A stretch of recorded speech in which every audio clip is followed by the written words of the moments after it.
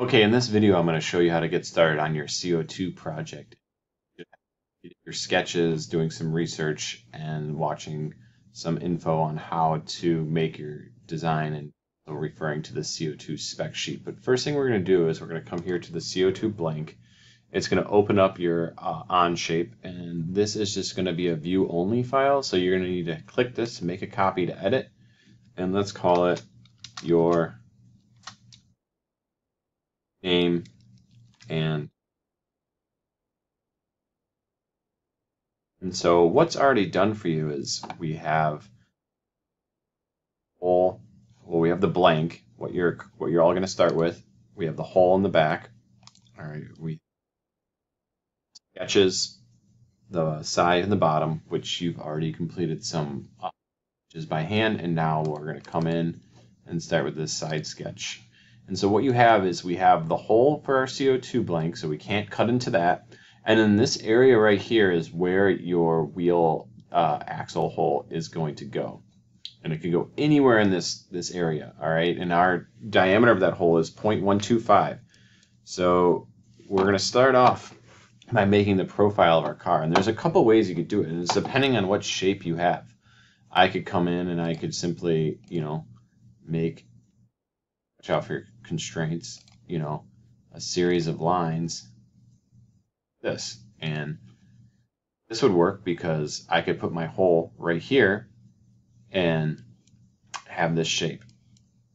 We can also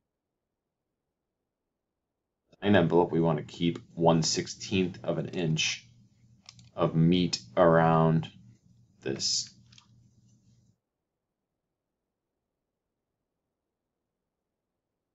cartridge, or I'm sorry, one eighth. So sure that we do that. So I'm going to leave how to penetrate this little box right here for a place to put my axles. All right, so that could be a way I would make my side profile. All right, like this. Let's do it another way.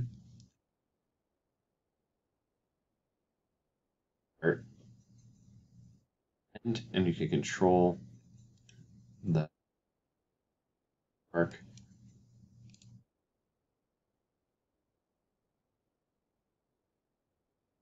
Here I have a little bit of this caught for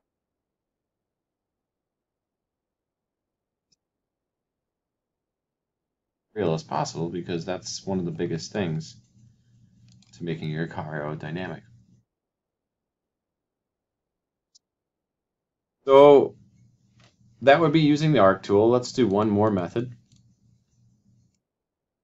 You crazy kids have all the ways. There's also the spline tool where I do start and I kind of map out the path.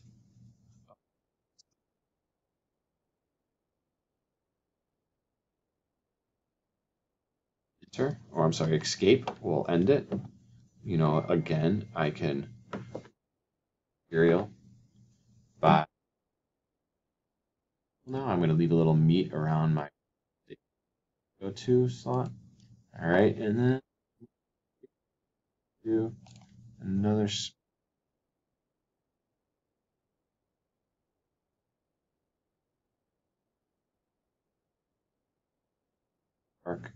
start. Right, something like that. The green check. All right, now Let's see what happens if we extrude this now. I select the regions. Angle on this. All right, we're going to remove thing right now. It's only going through an inch, so the side cut out of my car. Next thing we're going to do is we're going to go to our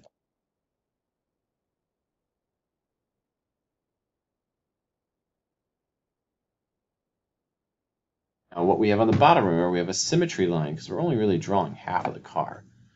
And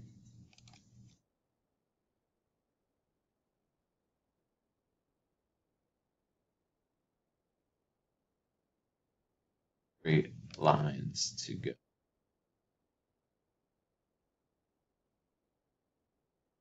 And we're going to use this mirror tool we're going to select our mirror line first. That's our reflected symmetry line. We're going to click on our geometry and it will make a copy of it. Pretty neat. We green check it. Let's extrude it. Last time, let's give it a little angle so we can see what we're doing. We want to remove. Green check. All right.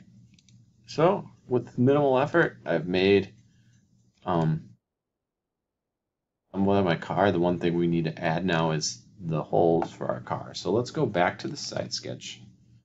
Remember, holes need to go in here, and our holes have a diameter of 0.125. So I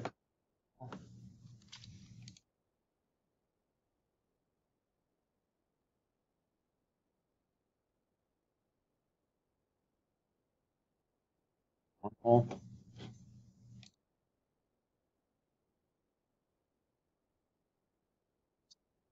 To be exactly in the middle, you could come off of here.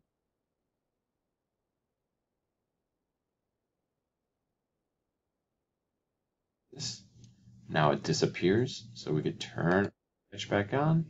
Let's hit extrude, select one hole, select two. Let's put a little